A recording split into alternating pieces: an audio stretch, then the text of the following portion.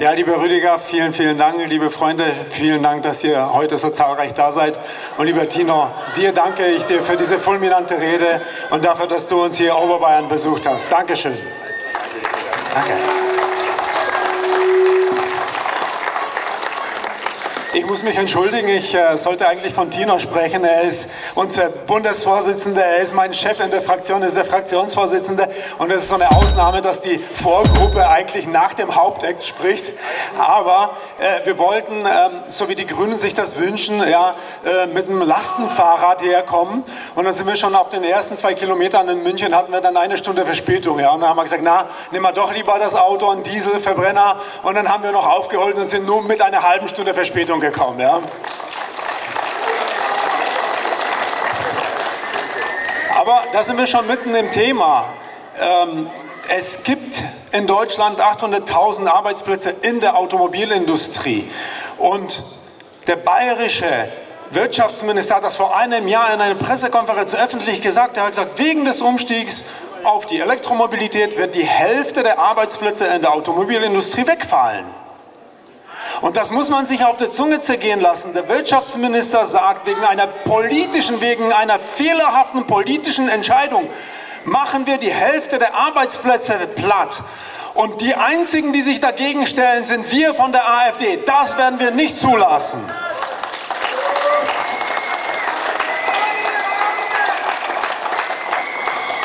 Wir haben hier plakatiert, unser Geld für unsere Leute. Das ist ein Thema, soziale Gerechtigkeit und vor allem das, was in den letzten Jahren hier in diesem Land passiert, soziale Ungerechtigkeit.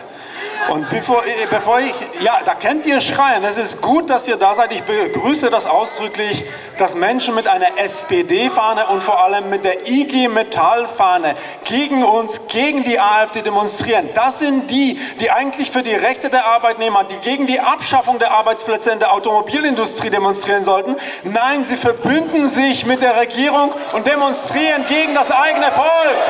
Ihr seid die Verräter.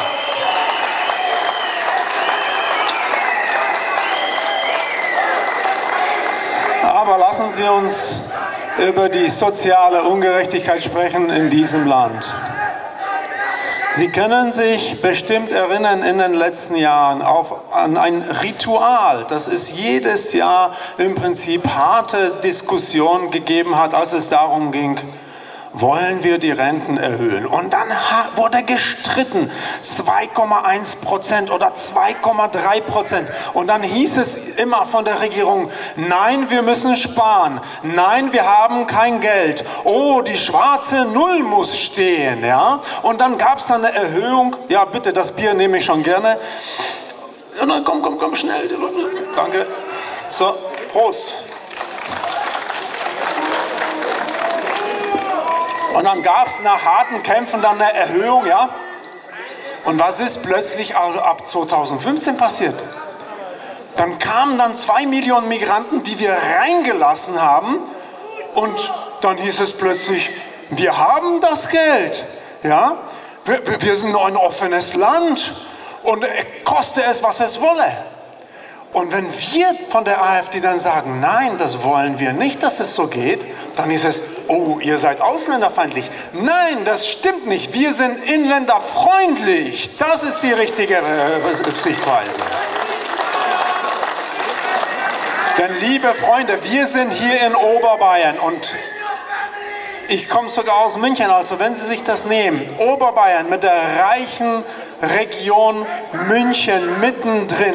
Jeder zweite Rentner in Oberbayern muss mit weniger als 800 Euro Rente auskommen. Und da hieß es vor 15, ja, wir sind ein reiches Land, wir können uns das alles leisten. Ja? Aber wenn Sie mit weniger als 800 Euro im Monat auskommen müssen, und das ist nur der Durchschnitt, das sind sehr viele Menschen, die 600, 500, 400 Euro nur haben. Das sind viele von den Trümmerfrauen, die dieses Land nach dem Zweiten Weltkrieg aufgebaut haben. Ja, übrigens entgegen der Behauptung mancher Grünen, nein, das waren nicht die Türken, die sind erst in den 60er Jahren gekommen. Das waren schon unsere Großmütter, das waren die Trümmerfrauen, die dieses Land aufgebaut haben. Und für diese Menschen stehen wir ein.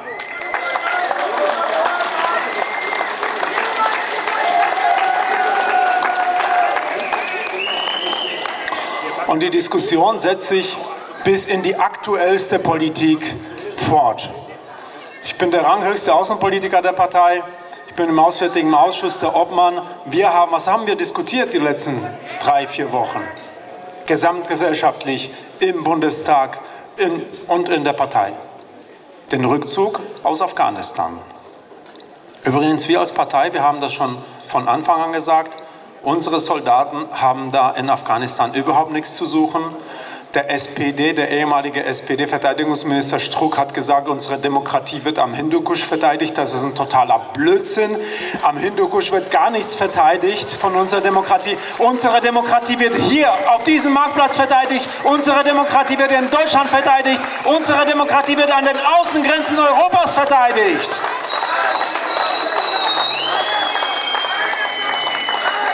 Wir alle, wir alle, Sie, Sie, Sie hinten auch, ich auch, wir alle sind belogen worden von unserer Regierung in diesen Tagen, wieder mal. Im Auswärtigen Ausschuss vor dem Rückzug wurde uns gesagt, es geht nur um 2500 Ortskräfte. Stimmt ihr dem zu, dass wir die nach Deutschland holen? Und dann haben wir von der AfD gesagt, selbstverständlich Selbstverständlich.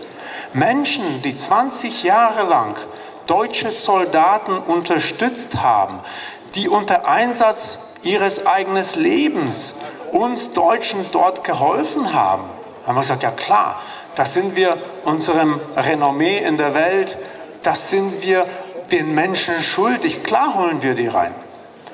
Dann hieß es, ja, aber der eine oder andere wird dann auf die Schnelle noch seine zweite oder dritte Frau heiraten. Vielleicht werden es nicht zweieinhalb, sondern dreieinhalbtausend werden. Haben wir gesagt, okay, schwamm drüber, auch. Aber eine Woche später hieß es dann plötzlich, oh, das sind 10.000. Und zwei Wochen später hieß es, oh, das werden 70.000. Und mittlerweile sollen es mehrere hunderttausend sein. Und da sagen wir ganz klar, nein, da machen wir nicht mit.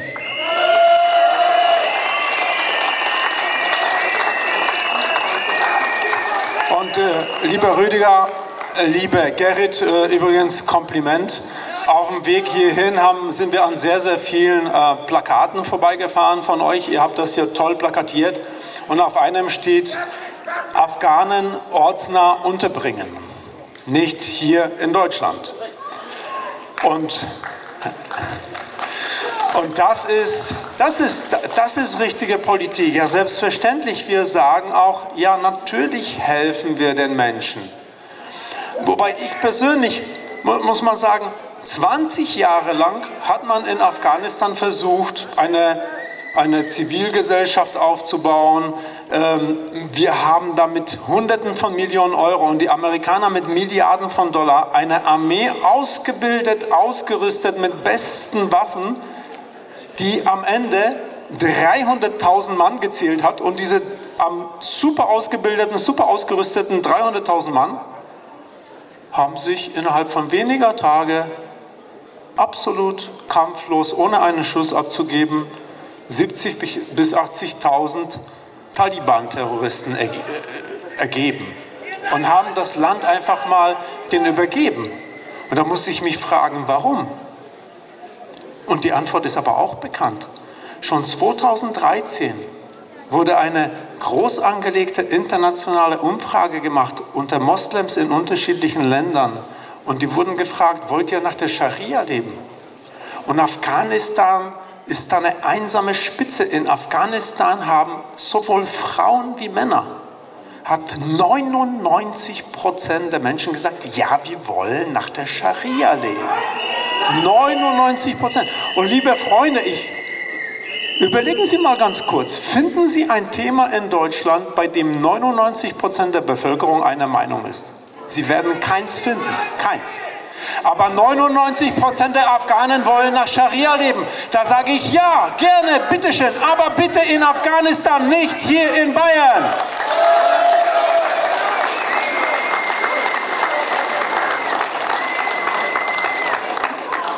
Wenn wir sagen, die, die Migranten sollen ortsnah untergebracht werden, das heißt in den Nachbarländern, dann äh, reden wir natürlich auch mit den Regierungen der Länder die um Afghanistan herum sind. Und wissen Sie, was diese Regierungen gesagt haben? Und das sind alles muslimische Länder.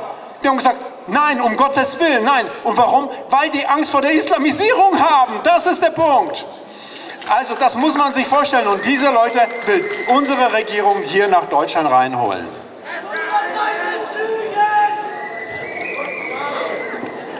Jungs, liest einfach mal die Zeitung, da steht das alles. Die Studie wurde veröffentlicht schon 2013 im Handelsblatt. Ihr könnt das jetzt während der Veranstaltung googeln. So, liebe Freunde, und letzter Punkt von meiner Rede. Ich würde da gerne anknüpfen daran, was mein Freund, Parteifreund Tino gesagt hat, Tino Kropala. Wir, die AfD. Wir sind die. Hey! Polizei zieht das Bier ein. du kriegst es gleich. So.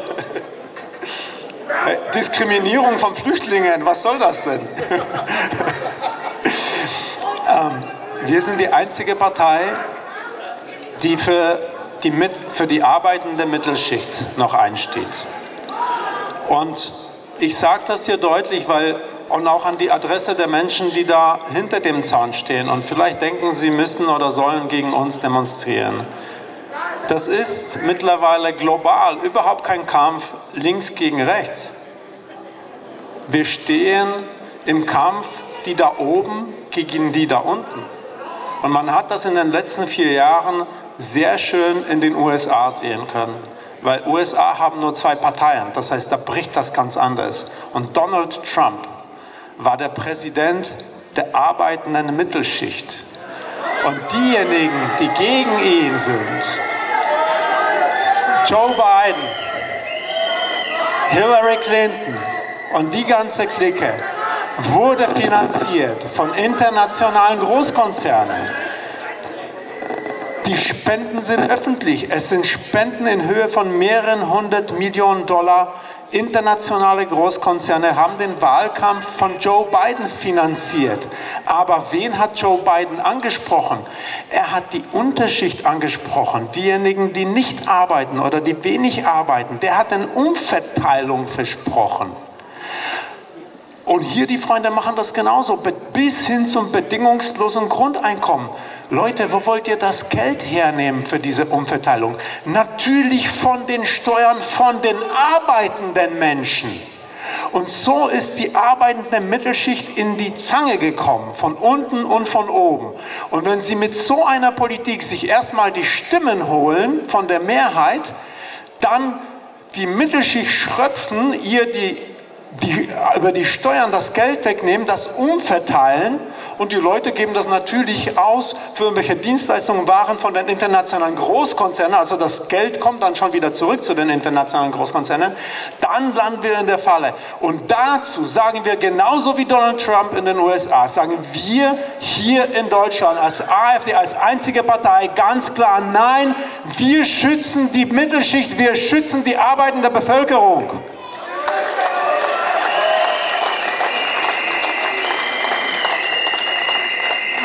Und liebe Freunde, Tino hat das gesagt. Er ist ein Handwerker, er ist ein Malermeister. Schauen Sie, ich bin Unternehmer.